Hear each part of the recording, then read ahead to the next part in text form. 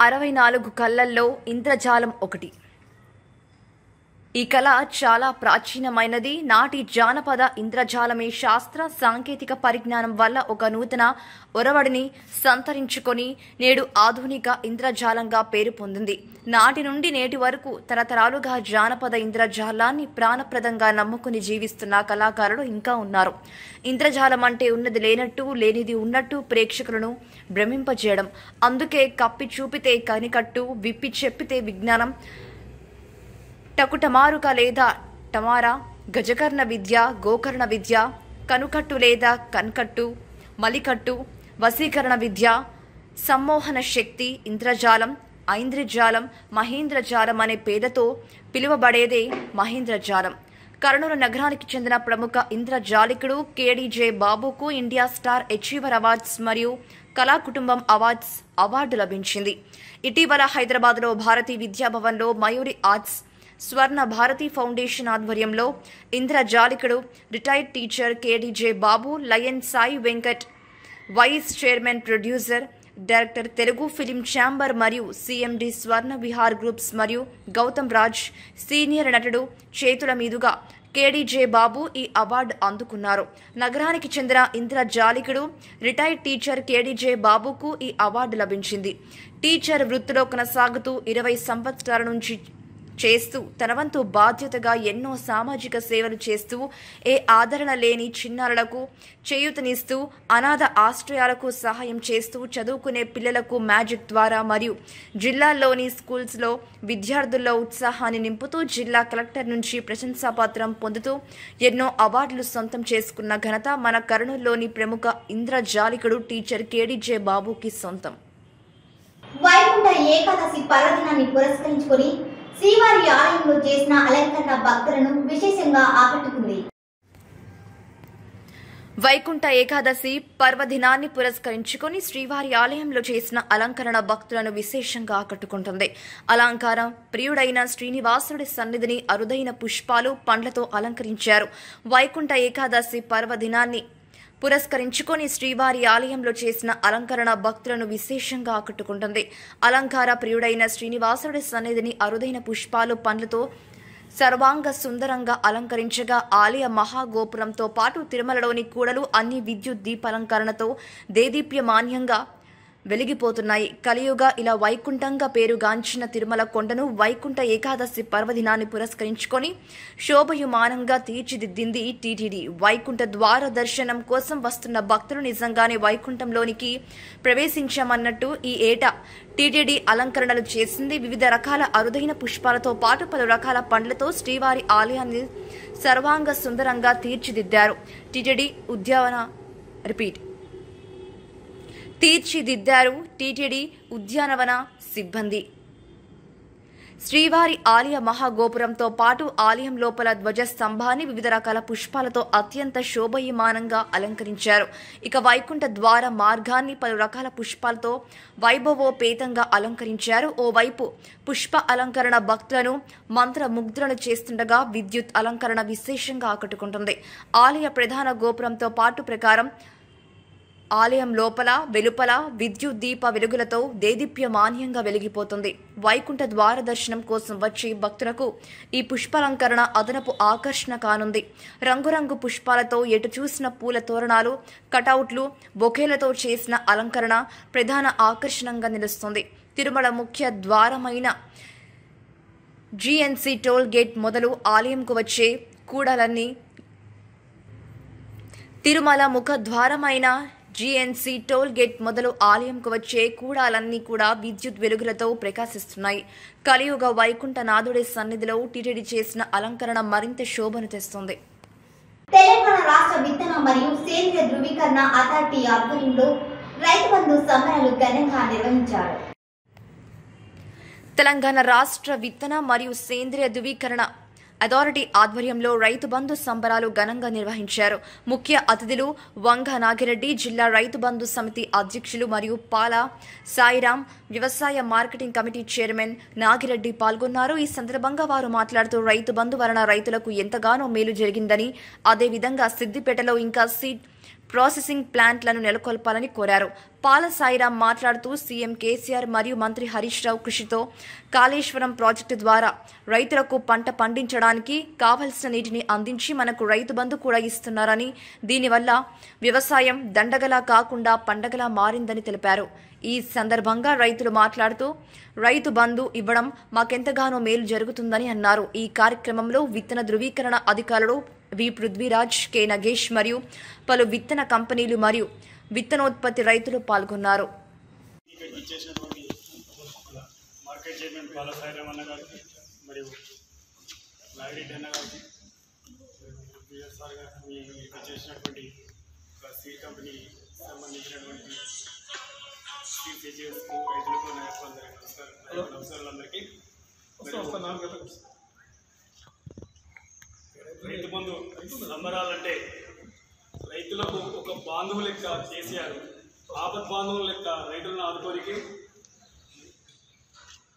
ఆయన యొక్క ఆలోచన ముందు చూపు ముందు ఆలోచనతోని పేద రైతు అంటే ఎలా ఉంటాడు అనేది ఒక రైతు అంటే ఏంటి అనేది కేసీఆర్ గారికి మొత్తం తెలిసి ఈ రైతు బంధు పథకము అతని ఆలోచనతో సొంత నిర్ణయంతో కేసీఆరే ప్రకటించి ఈ రైతు బంధు ప్రతి సంవత్సరానికి రెండు పసలు రెండు పసలుగా మనకు రైతు బంధు అమలు చేస్తున్నాడు కనుక ఒక ఎకరానికి ఐదు వేల రూపాయలు అంటే ఒక మందు బస్తా కొంటే ఇవాళ పెరిగిన రేటు ప్రకారంగా పదిహేను వందల రూపాయలు ఒక మందు బస్తా ముప్పై ఐదు వందల రూపాయలు కూలి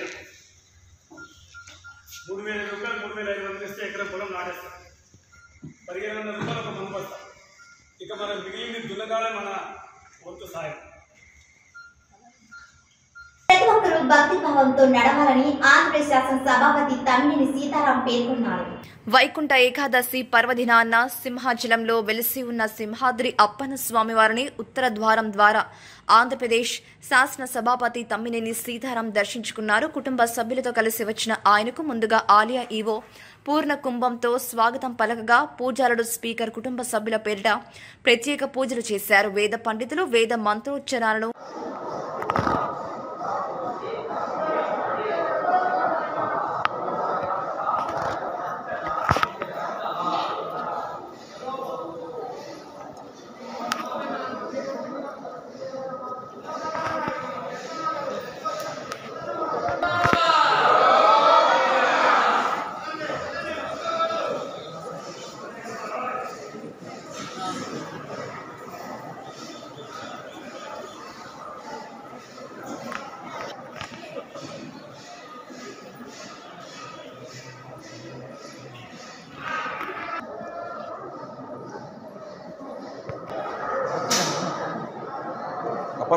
క్లియర్ చేయి.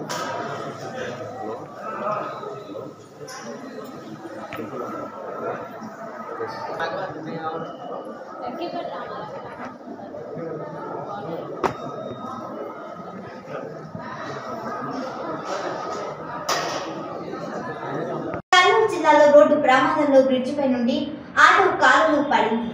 కర్నూలు జిల్లాలో రోడ్డు ప్రమాదంలో బ్రిడ్జిపై నుండి ఆటో కాలువలో పడింది. కర్నూలు జిల్లా కోవెలకుంట్ల మండలం పరిధిలోని భీమునిపాడు గ్రామ శివారులో గుర్తు తెలియని వాహనం ఢీకొని బ్రిడ్జి పై నుండి ఆటో పడిన ఘటన గురువారం చోటు చేసుకుంది. ఈ ప్రమాదంలో డ్రైవర్ హుస్సేన్ అక్కడికక్కడే మృతి చెందగా పలువురికి తీవ్ర గాయాలు అయ్యాయి.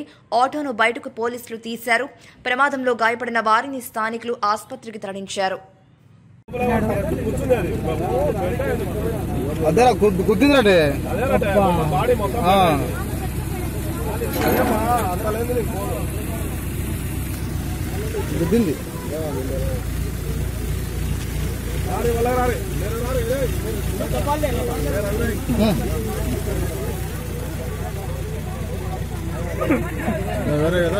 అదే ఆయన.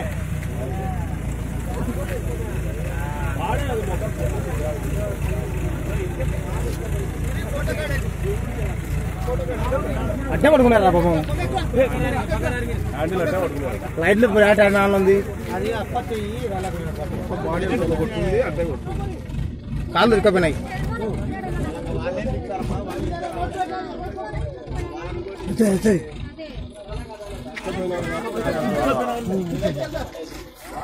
పోయినా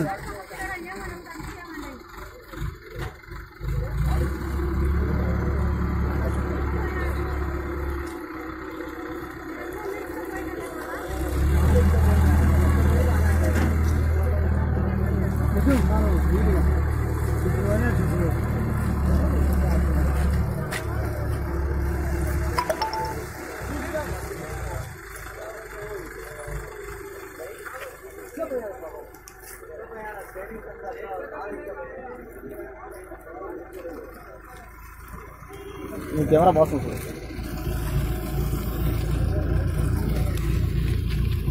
HUDA trade centre park స్థలాన్ని కార్పొరేటర్ రాఘం నాగేందర్ యాదవ్ పరిశీలించారు.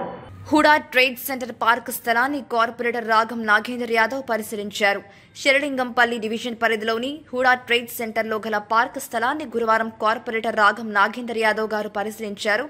పార్క్ ఖాళీ స్థలం నిరుపయోగంగా ఉండడంతో పార్క్ అభివృద్ధి కొరకు గ్రీనరీతో పాటు పార్క్ చుట్టూ ప్రహరీ గోడ నిర్మాణంకు ప్రతిపాదనలు సిద్ధం చేయాలని అధికారులకు సూచించారు.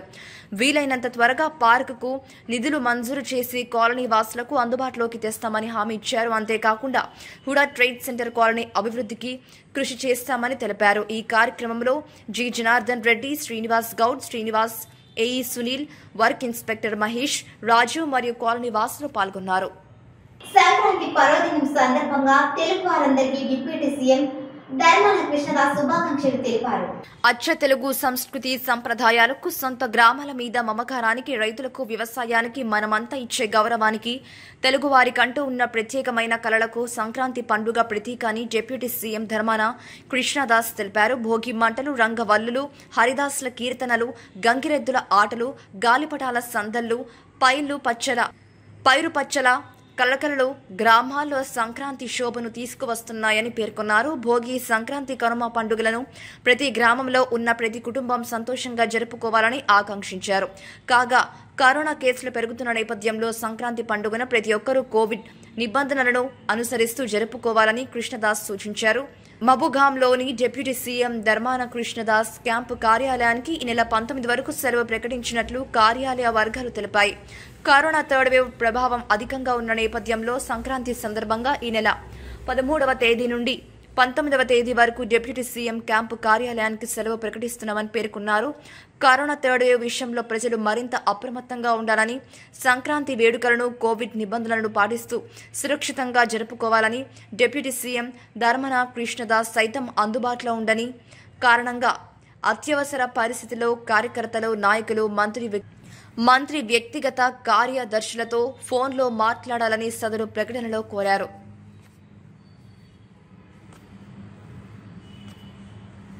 వార్తలు ముగించే ముందు ముఖ్యాంశాలు మరోసారి.